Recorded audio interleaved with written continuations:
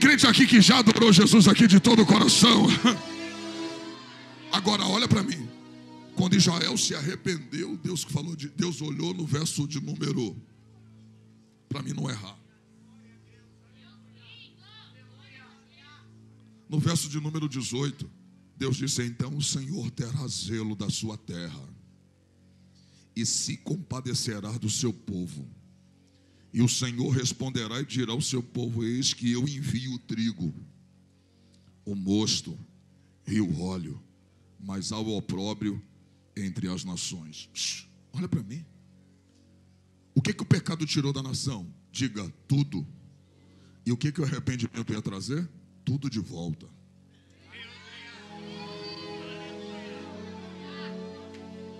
Você não pegou?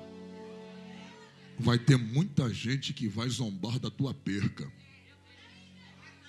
Mas vai ter muita gente que vai ficar de queijo caído quando vê Deus te restaurar de novo. Varão do céu.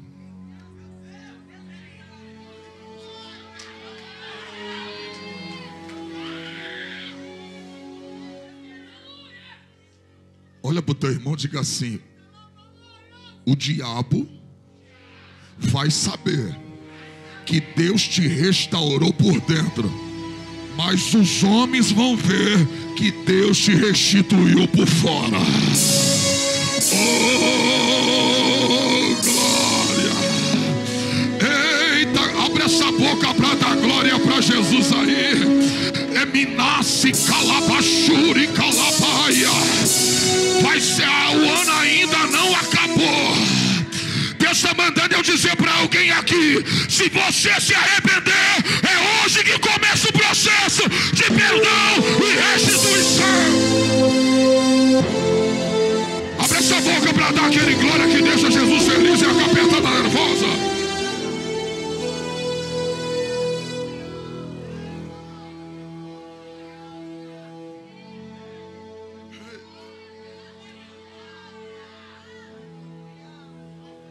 Olha para mim. Pega isso aqui para ver se tu dá glória. Restituir gado. Pega isso aqui. Restituir gado.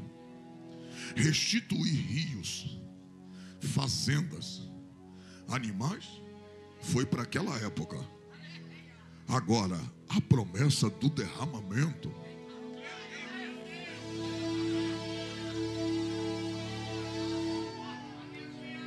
Você não pegou? Perdão veio naquela época por causa do arrependimento. Restituição do que perdeu veio naquela época por causa do arrependimento. Agora, derramamento do poder não foi para aquela época. E há de ser que nos últimos dias, diz o Senhor, derramarei eu do meu espírito sobre toda a carne. Vossos filhos e vossas filhas profetizarão, os jovens terão visões e os velhos sonharão.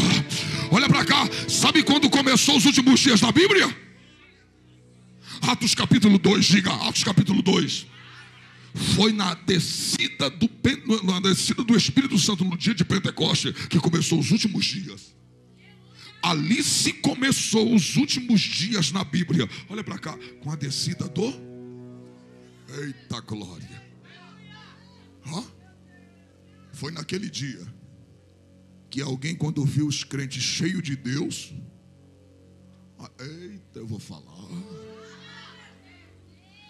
Quando viu Pedro no óleo, olha para cá, quando viu Pedro, pá, pá, pá, ó, cheio de Deus, quem não entrou no cenáculo estava de fora.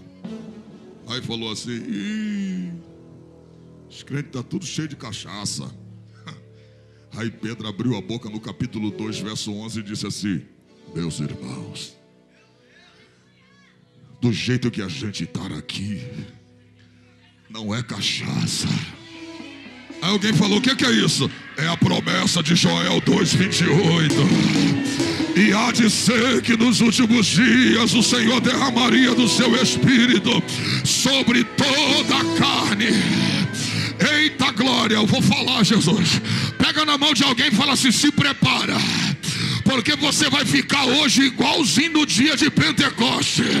Você vai voltar para casa embriagado, cheio da presença do Espírito Santo.